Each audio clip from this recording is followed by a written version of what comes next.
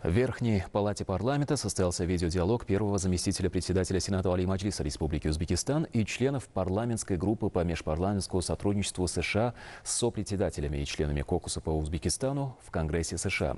О том, какие договоренности достигнуты в ходе диалога в материале Ольги Русаковой.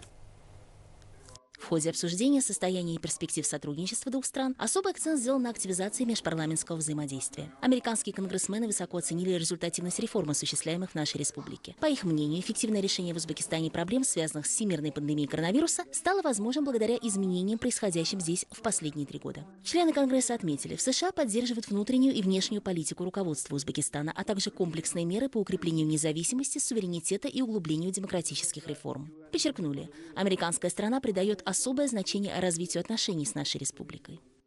Мы э, с удовлетворением отметили тот факт, что Соединенные Штаты Америки и Узбекистан во многих отношениях э, далеко продвинулись. Это касается экономического сотрудничества.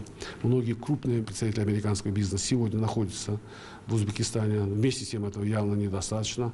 И поэтому мы говорили о том, что необходимо развивать прямое сотрудничество между областями Узбекистана и штатами Соединенных Штатов Америки, э, развивать региональное, межрегиональное взаимодействие. Вы знаете, что американское присутствие в Афганистане имеет важную роль для борьбы с международным терроризмом, для укрепления стабильности на южных рубежах Узбекистана. Это сотрудничество э, будет углубляться и впредь. Достигнута договоренность о том, что сразу после того, как закончатся ограничительные меры, связанные с пандемией коронавируса, э, прямые контакты между конгрессменами э, Соединенных Штатов Америки и парламентариями Узбекистана возобновятся, и они будут направлены на э, решение тех вопросов, которые будут в интересах обеих наших народов и стран.